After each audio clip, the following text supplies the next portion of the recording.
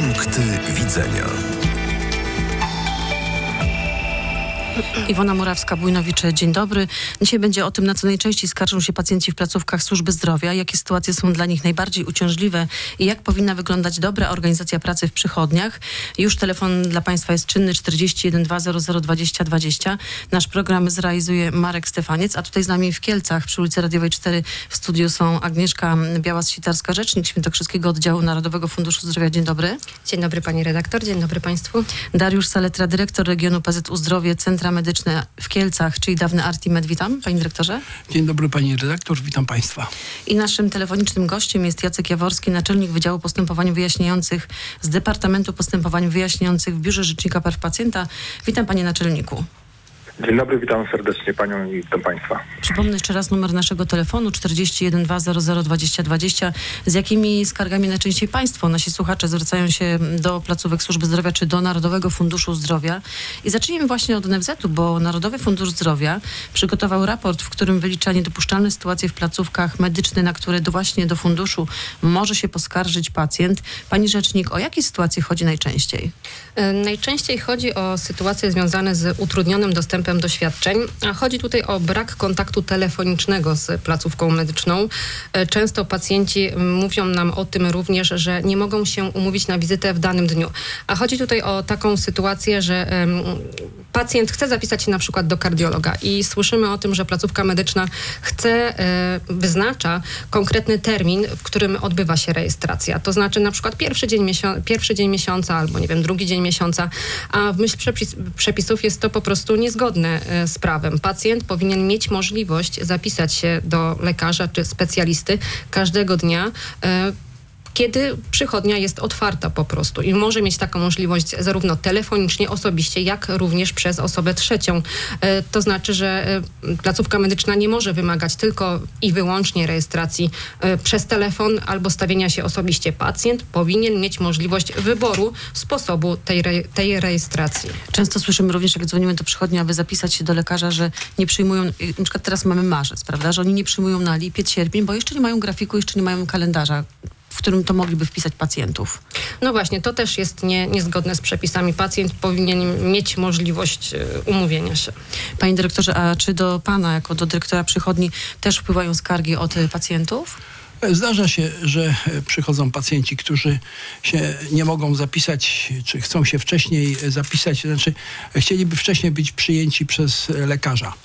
E, mm, tutaj, e, jeśli chodzi o tą sprawę, to e, o dodzwonienie się u nas pacjenci mają taką możliwość, ponieważ pacjenci E, mogą korzystać e, z e, call center i to call center jest otwarte tak, że pacjent zawsze się może do niego dodzwonić.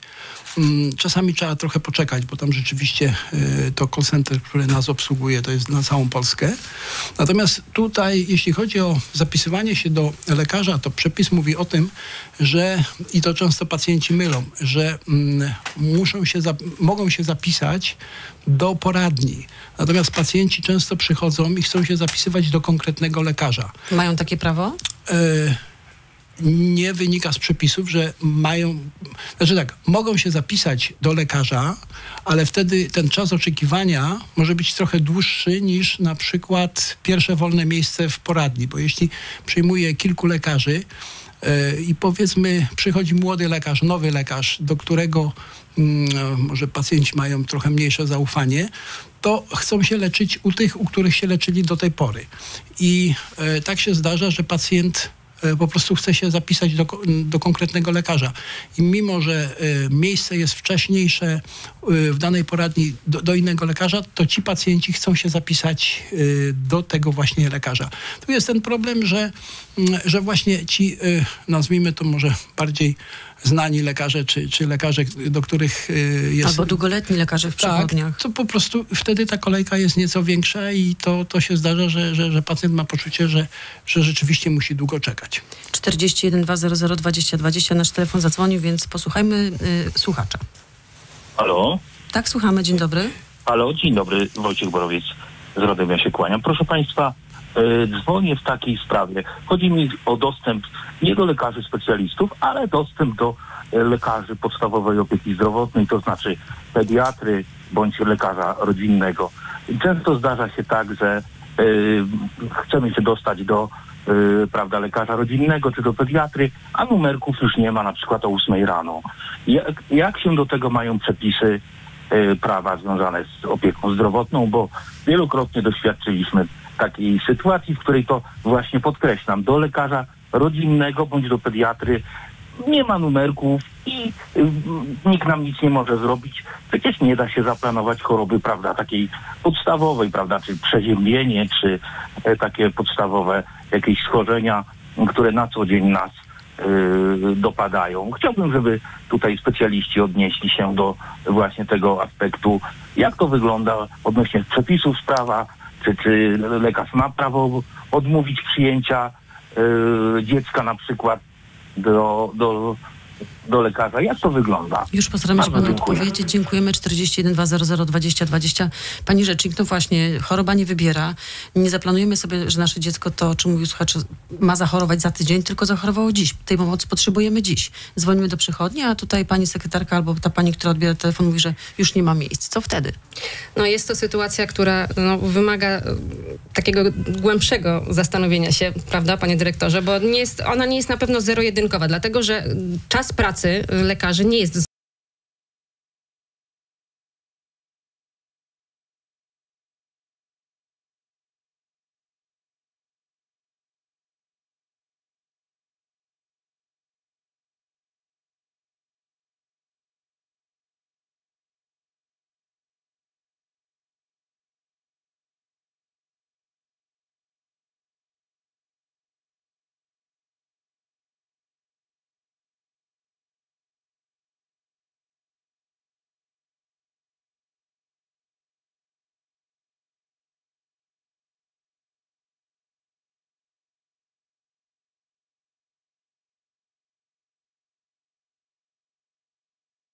no, funkcjonują jeszcze coś takiego nocna. jak nocna i świąteczna opieka medyczna, więc... Y, to też trudno naszych pacjentów z POZ-u odsyłać y, w, w, do nocnej świątecznej opieki, chociaż i takie rzeczy się zdarzają, bo, bo czasami jest tak, że rzeczywiście y, w czasie tej infekcji, w czasie tej czasu takiej zwiększonej infekcji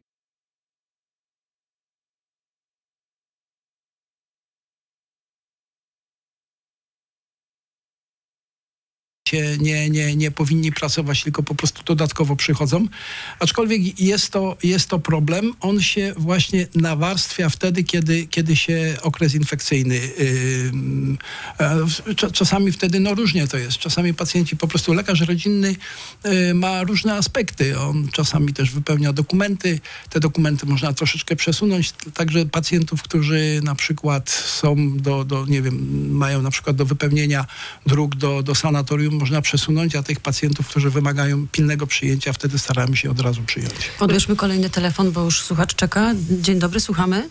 Dzień dobry Państwu. Proszę Państwa, ja chciałam zapytać, czy lekarz bez żadnych badań może postawić diagnozę? Spotkało nas to w niedzielę, ponieważ syn ma długo leczącą nogę, bardzo go bolała. Pojechaliśmy do Buzka, lekarz wyszedł, lekarz chirurg, tylko tyle, że dotknął tą nogę i już stwierdził, że jest miażdżyca. No dzisiaj zrobiliśmy Doppler, tętnice czyste, wszystko czyste, nie ma żadnego stanu zapalnego.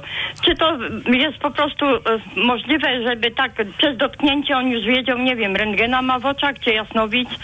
Czy, już czy jest to po prostu. Y, normalne takie leczenie? Dziękuję ślicznie i pozdrawiam. Proszę o wyjaśnienie. Pozdrawiamy również, panie dyrektorze. Badanie lekarskie składa się z trzech części. Z, do, z dokładnie zebranego wywiadu, z, y, badanie, z badania fizykalnego pacjenta i z badań dodatkowych. E, czasami może się wydawać pacjentowi, że lekarz e, w czasie zbierania wywiadu na przykład słabo go słucha.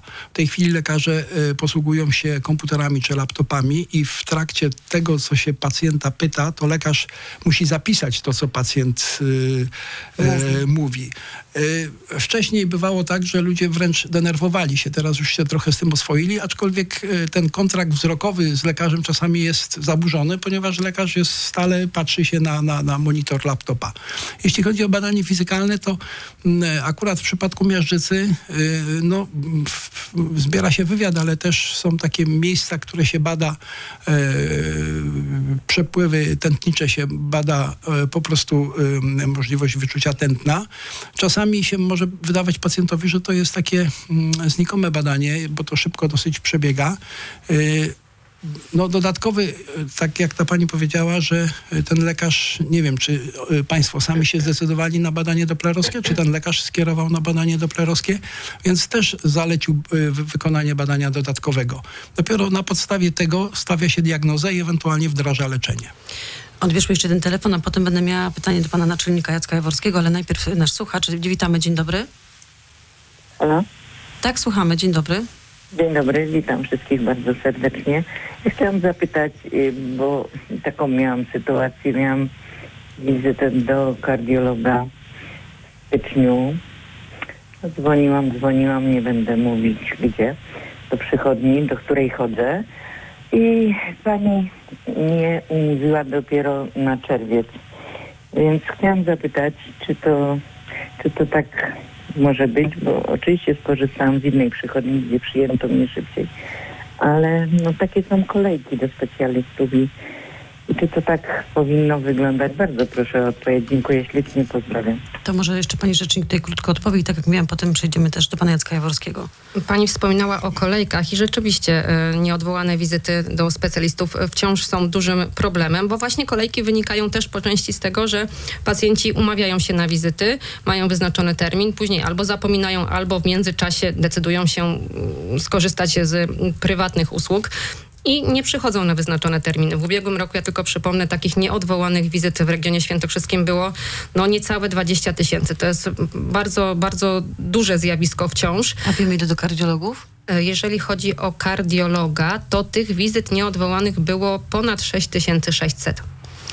Teraz Jacek Jaworski, naczelnik z Departamentu Postępowań Wyjaśniających w Biurze Rzecznika Praw Pacjenta. Panie naczelniku, jak wiele skarg rocznie wpływa do właśnie Rzecznika Praw Pacjenta? E, to nie są tylko skargi. E, szanowni Państwo, są e, ogólnie rozumiane zgłoszenia, to są mm, w granicach 163 tysięcy w 2021 roku. 124 tysięcy w 2022 roku i ta mm, liczba się podejrzewam utrzyma w roku 2023.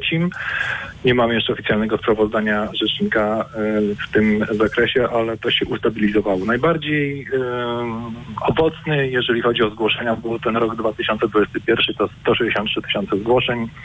To czas pandemii, kiedy przychodnie były tak. pozamykane tak naprawdę to był taki wyjątkowy rok i wtedy, no, no, no, wtedy wszyscy mieliśmy takie doświadczenie właśnie e, słabych punktów w systemie ochrony zdrowia. Niemniej jednak u mnie w Departamencie Postępowań Wyjaśniających e, notujemy cały czas e, zwiększoną liczbę wszczynanych postępowań wyjaśniających o naruszenie prawa pacjenta i zakładanych spraw, także to są liczby u nas cały czas rosnące. Panie naczelniku, a czego naj, najczęściej dotyczą takie skargi? Tutaj już to, to wybrzmiało do, dokładnie, także tutaj ja chciałem tylko potwierdzić to, co powiedział pan dyrektor, e, że no, pacjent nie jest numerkiem i każda sytuacja jest indywidualnie powinna być rozpatrzona, że personel e, rejestracji nie podejmuje decyzji o kwalifikacji pacjenta do udzielenia świadczeń zdrowotnych. To jest, powinna być decyzja e, lekarza, to jest decyzja personelu, który wykonuje zawód medyczny. Kryterium zdrowotne jest w tym momencie kluczowe. E, I te skargi dotyczą właśnie tej, tego obszaru najczęściej właśnie mm, przy zwiększonej ilości zachorowań, przy sytuacji zwiększonego e, narażenia na infekcje. Podmioty lecznicze, no niektóre sobie z tym radzą lepiej, niektóre gorzej. E, można to przewidzieć, tak jak tutaj pan rektor powiedział, że wtedy zmiana organizacji pracy i, i, i trochę, trochę inaczej to wtedy wygląda. Mm, też chciałem tutaj zwrócić uwagę, że jeżeli chodzi o te wizyty, e, które nie są odwoływane, to jest marginalne zjawisko, jeżeli chodzi o podmiot prywatne, bo ja już zrobiłem takie rozpoznanie we własnym zakresie, e, pytałem kilku e, kilka osób, które zarządzają podmiotami prywatnymi, leczniczymi i system, który one, oni wprowadzili u siebie tej intensywnej informacji dla pacjenta, że zbliża się termin i proszę o potwierdzenie bądź odrzucenie i przynosi efekty i te, to jest e, zjawisko marginalne, jeżeli chodzi o podmioty, które komercyjnie udzielają świadczeń zdrowotnych. Odbierzmy kolejny telefon. Dzień dobry. Dzień dobry. Słuchamy. Proszę Państwa, tak słucham tej audycji i mówicie takie, takie rzeczy, które no, no, po prostu dla zwykłego pacjenta są niezrozumiałe, bo jeżeli tu do lekarza na fundusz się trudno jest dostać, bo trzeba kolejce stać tam miesiącami, nawet i latami, a prywatnie się idzie na drugi dzień i jest miejsce do, akurat do tego. Jak to, jak to jest możliwe, że ci lekarze nie, te, te pieniądze te z funduszu, co, co każdy ciężkie pieniądze płaci, to inaczej pachną, czy jak? No nie, nie rozumiem tego. Dlaczego prywatnie jest miejsce, a, a za, za, z funduszu nie ma miejsca? Dlaczego to, to się tak dzieje? Czy to nie należałoby może zlikwidować tą y, prywatną służbę zdrowia, tylko przejść na państwową, jak to było kiedyś za słusznych czasów, że każdy miał jednakowe prawa, jednakową kolejkę, jednakowo się mógł dostać do lekarza, bo się poszedł, zapisał i czekał w kolejce. A teraz wszystko idzie prywatnie, prywatnie i narzekacie później, tu opowiadacie bzdury, że ludzie po prostu y, nie, nie przychodzą do e, na umówione spod, e, wizyty do lekarza, bo, bo on tam ma wyznaczoną wizytę za pół roku, czy tam za, za rok czasu. Jak taki Już pacjent z bólem czy czymś może czekać? Już Jak to, to, to się ma do tego? Przecież każdy idzie nie e, dla przyjemności, nie planuje sobie chorób, tylko jak boli, idzie do lekarza. Wtedy się powinno iść do lekarza, a nie e, wizytę sobie umawiać, bo ktoś nie wiadomo kiedy sobie wymyśli, że zachoruje na to i już idzie do wizyty. No to co, wypadałoby iść jednego dnia brać skierowanie do wszystkich specjalistów, się zamawiać kolejki i czekać? Już postaramy się panu odpowiedzieć. Tak jak pan wspomniał, no często się zdarza tak, że pacjenci umawiają się na zapas do specjalistów i później po prostu do nich nie przychodzą. No dane wyglądają w ten sposób, że w całym kraju w ubiegłym roku takich nieodwołanych wizyt było milion trzysta tysięcy. I przypomnę, w regionie świętokrzyskim niecałe 20 tysięcy. Także proszę sobie wyobrazić, jak ogromna liczba to jest. Panie dyrektorze, a jeżeli chodzi o telefon od słuchacza, no właśnie, do prywatnego lekarza, na prywatną wizytę jest się szybciej ja się nie umówić. zgodzę z tym, że y, na pewno na prywatną wizytę można się umówić szybciej, ale to nie znaczy, że się można umówić z dnia na dzień. Naprawdę nieraz jest y, taka sytuacja, że się e, szukamy, y, udzielamy y, dla pacjentów świadczeń nie tylko w ramach NFZ-u, ale też udzielamy prywatnie, udzielamy w ramach zakontraktowanych z firmami ubezpieczeniowymi. Mamy też tak zwanych swoich pacjentów PZU Zdrowie i e, to nie jest tak, że e, prywatnie te, te e, realizujemy te e, konsultacje na bieżąco. Po prostu w tej chwili jest rzeczywiście duży brak lekarzy. Jeśli chodzi o, y, ja bym powiedział, że to już nawet nie jest y, taki duży problem pieniędzy, bo fundusz też już w tej chwili troszkę nieco lepiej płaci, aczkolwiek y, wizyta prywatna jest nadal istotnie droższa niż to, co płaci fundusz, ale no, jeśli chodzi o, o to, to nie jest tak, że to można zupełnie rozdzielić. Ta, firm, ta prywatna służba zdrowia istotnie uzupełnia e, publiczną, natomiast u nas jest jeszcze jeden problem, że jest e, Panie znacznie, a może to wynika znaczna ilość, e, e, nasilenie na to, żeby się leczyć u specjalistów i to powinno być tak, że specjalista powinien konsultować, a nie powinien cały czas pacjenta prowadzić. W niektórych wypadkach tak, ale w, większości przypadków po prostu można by to leczyć, przedłużać na przykład leki u lekarza domowego, rodzinnego. Panie dyrektorze, a może to chodzi o to, że po prostu nie każdego stać dzisiaj na prywatne leczenie, więc tych pacjentów po ozotowskich czynach, które płaci Narodowy Fundusz Zdrowia jest po prostu więcej. Dlatego lekarze, którzy przyjmują już u siebie w gabinetach prywatnych, mają mniej tych pacjentów i szybciej się jest do nich dostać. Ja bym tu rozdzielił e, badania e, pacjentów do lekarza POZ-u, ponieważ e, no nie, raczej nie zdarza się, żeby pacjent y, szedł prywatnie, bo nie może się dostać do lekarza POZ-u. To, to się zdarza, przynajmniej jeśli chodzi o mnie, to, to, to ja Bardzo nie słyszałem rzadko. takiej, takiej sytuacji, że ktoś musiał iść prywatnie i, i, i się po prostu leczyć, bo się nie dostał do lekarza rodzinnego. Inny problem jest z, z tak zwaną specjalistyką, gdzie rzeczywiście te kolejki są dłuższe. E, e, problem z nieodwołalnymi wizytami to jest też trochę i e, nazwijmy nasza wina jako pu- publicznej och- ochrony zdrowia, ponieważ te terminy są dłuż, długie. Jeśli termin jest długi, to pacjent albo zabezpiecza sobie tą, to, to, to, to zdrowie w inny sposób, albo mm, e, po prostu czasami dolegliwości przechodzą, zapomina, to są czasami przewlekłe e, e, choroby i rzeczywiście nie odwołuje. Natomiast jeszcze tak powiem, że ta akcja, która była e, odwołuje, nie blokuje, e, rozmawiałem dzisiaj w rejestracji i e, panie mówiły, że był ewidentnie rezultat, że było tak, że coraz więcej osób się zaczęło zgłaszać. Ta ilość niezgłaszających się pacjentów się zmniejszyła, ponieważ ludzie odwoływali. Natomiast teraz znowu troszeczkę to wzrosło. Także Czyli akcja warto, musiałaby trwać warto permanentnie. permanentnie i warto o tym zawsze mówić. Odbierzmy kolejny telefon. Dzień dobry. Halo? Tak, słuchamy. Y, Proszę, proszę sprawdzić te nieodwołane wizyty i jak długo ci ludzie musieli czekać. Przecież to chyba można sprawdzić. A jeśli chodzi o POZ-y, są bardzo dobre.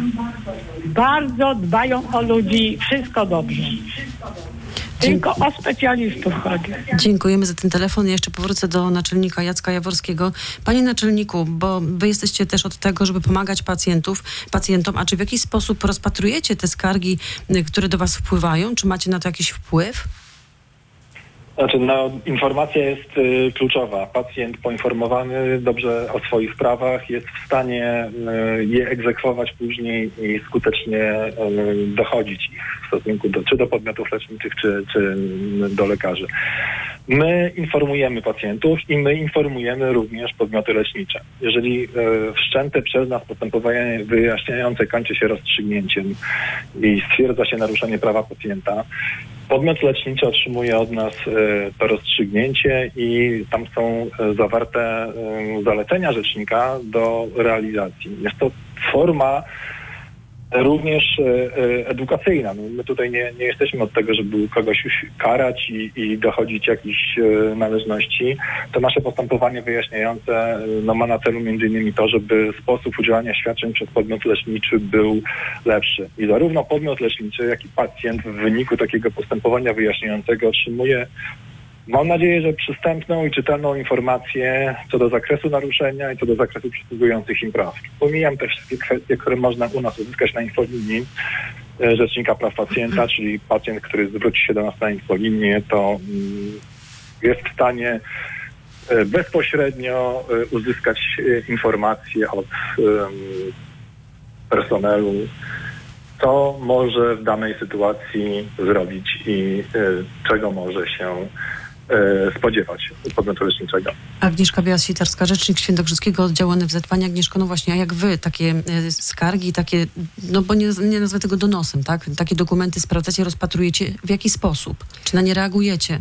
Tak, każde zgłoszenie, które do nas trafia w formie papierowej, podpisane imieniem i nazwiskiem. Czyli anonimy nie pacjent- mogą być? Nie, anonimami się nie zajmujemy, a to wynika z prostego faktu, że ilość umów, którą mamy zawartą, ilość umowy, które mamy zawarte z poszczególnymi placówkami medycznymi jest tak duża, że niemożliwe byłoby zajmowanie się tymi anonimami. Natomiast jeżeli wpłynie do nas na piśmie pocztą elektroniczną albo na przykład za mm, pośrednictwem platformy ePUAP takie zgłoszenie, które będzie podpisane imieniem, nazwiskiem, krótki opis problemu i której placówki medycznej mm, sytuacja dotyczy, każdorazowo sprawdzamy taką sytuację. Nie zostawiamy tego mm, w powietrzu, że tak powiem kolokwialnie.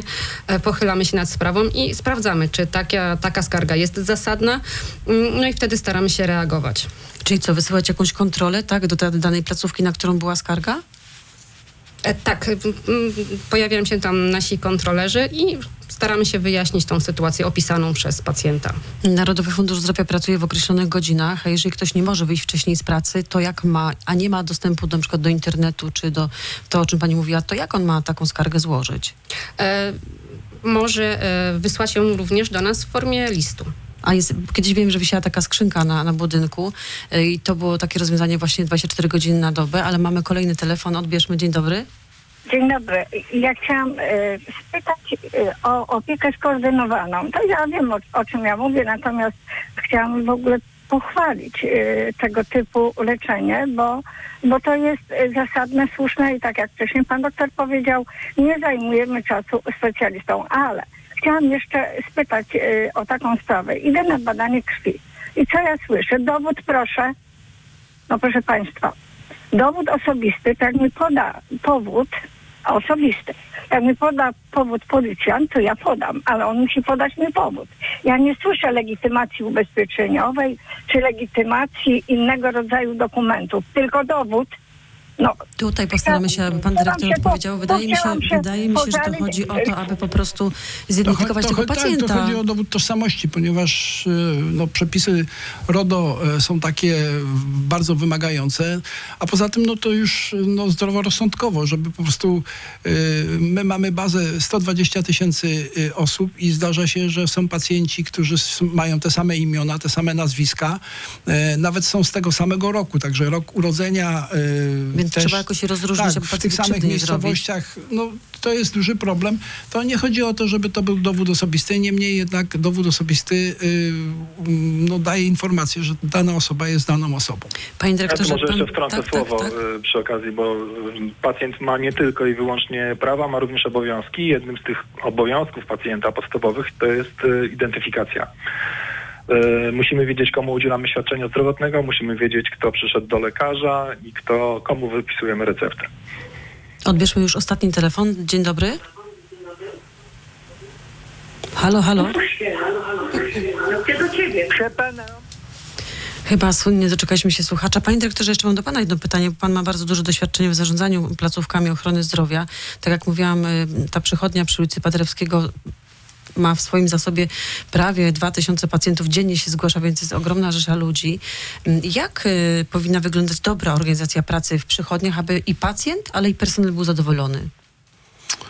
E, To jest Trudne, doświadczenie, wiem, tak, to jest pytanie, doświadczenie ale- wieloletnie.